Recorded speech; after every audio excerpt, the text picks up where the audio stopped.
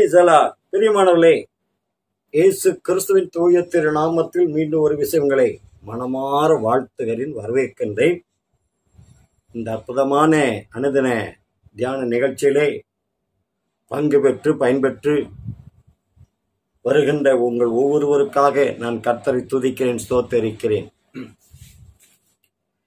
கடந்த நாட்களிலே மனம் திரும்பலுக்கு ஏற்ற பலனை கொடுங்கள் என்று கர்த்தராகிய இயேசு கிறிஸ்து சொன்னதே. இந்த அடிப்படையில் மனம் திரும்பினவர்கள் எதை செய்ய வேண்டும் எப்படி செய்ய வேண்டும் என்பதை குறித்த ஒரு தெளிவான திட்டமான போதனையை அனுதினமும் நாம் தியானித்து வருகின்றோம்.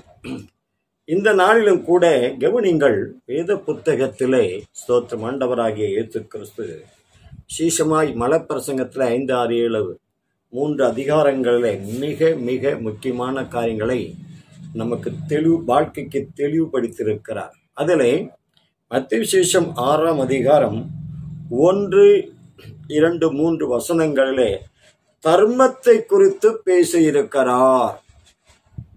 அப்ப தேவனுடைய பிள்ளைகள் இந்த ஆறாம் அதிகாரத்தில் முதலாவது அவர் பேசுகிறது தர்மத்தை குறித்து அடுத்ததான் ஜெபத்தை குறித்து பேசுகிறார். நம்ம அத்தனை பேரும் ஜெபம் சரியாய் ஒழுங்காய் முறையாய் செய்து வருகிறோம். ஊழியர்களாக இருந்தாலும் விசுவாசிகளாக இருந்தாலும் தவறாமல் ஜெபிக்கிறோம். ஜெபத்தில் ரொம்ப கரிசனை காட்டுகிறோம். நல்லது சோத்திரம். ஆனால் அந்த ஜெபத்திற்கு முன்பாக முதலாவது ஆறாம் அதிகம் ஒன்று ரெண்டு மூன்று வசனங்களிலே சோத்திரம் எதை குறித்து பேசியிருக்கிறார்? தர்மத்தை குறித்து பேசியிருக்கிறார். சோத்திரம். தர்மம் எப்படி செய்ய வேண்டும் என்பதையும் எப்படி செய்யக்கூடாது என்பதையும் பேசியிருக்கிறார். ஆகவே திருச்சபை இன்றைக்கு திருச்சபன் பிள்ளைகள் சோத்திரம் தர்மம் செய்வதை குறித்து அக்கறையற்றவர்களாய் மனமற்றவர்களாய் தெளிவற்றவர்களாய் ஊக்கமற்றவர்களாய் இருப்பது மிக வருத்தமான ஒரு காரியமாக இருக்கிறது. அப்போ சோதன் ஜெபத்தை விட மிக முக்கியம் தர்மம். தர்மம் செய்த பிறகுதான் ஜெபத்தை குறித்து அவரே போதித்திருக்கிறார் என்றால் சோத்திரம்.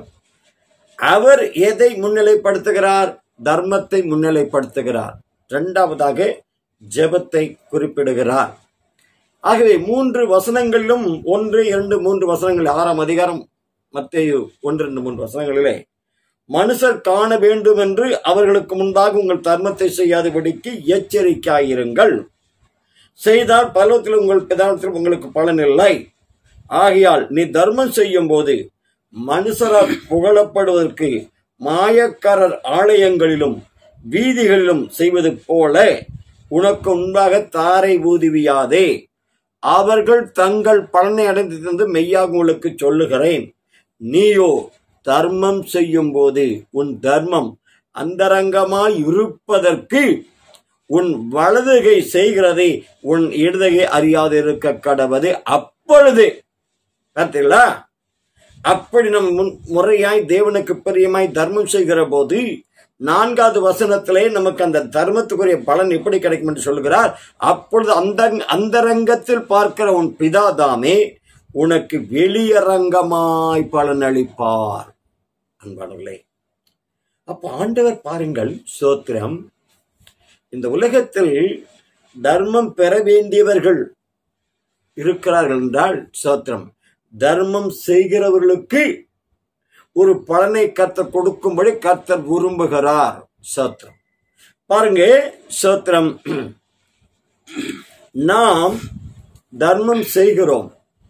அப்ப வலதுகை செய்கிறது இடதுகைக்கு தெரியாம அவ்வளவு அந்தரங்கமாய் தர்மம் செய்ய வேண்டும் என்று தேவன் போதித்து விட்டு என்ன சொல்லுகிறார். சோத்திரம். அப்பொழுது அந்தரங்கத்தில் பார்க்கும் பிதாதாமை உனக்கு வெளியரங்கமாய் பலனளிப்பார்.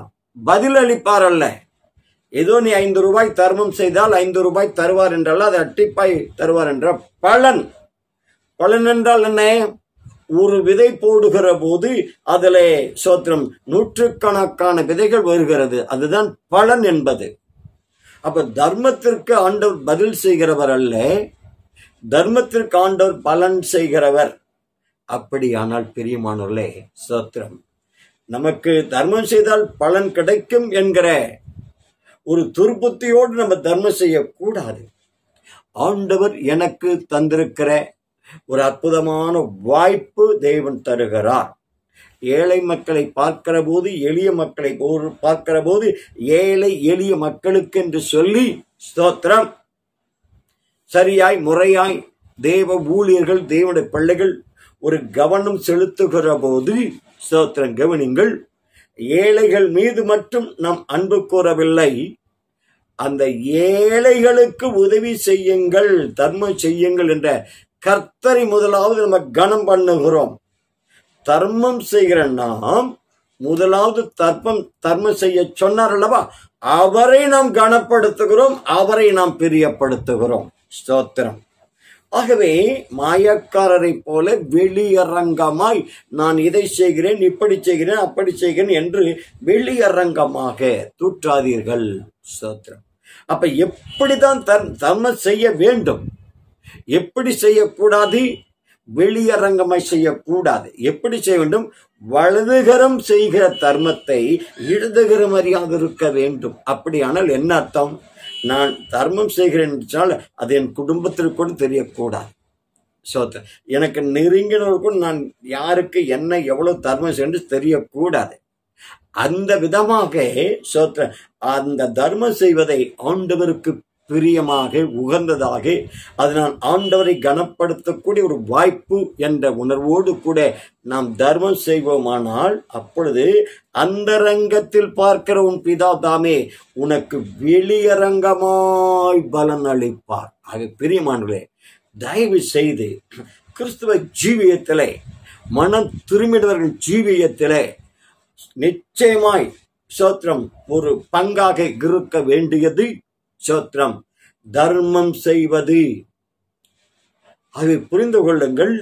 தாவித சவுல் கூட எழுதுகிற போது தர்ம ஊழியத்தை நிறைவேற்றுகிறேன் என்று எழுதியிருக்கிறார். ஸ்தோத்திரம். ஆகவே திருச்சபை இன்றைக்கு மங்கி இருக்க காரணம் இந்த தர்ம ஊழியத்தின் மீது சிந்தனையற்றவர்களாய் சோத்திரம் இருக்கிறோம்.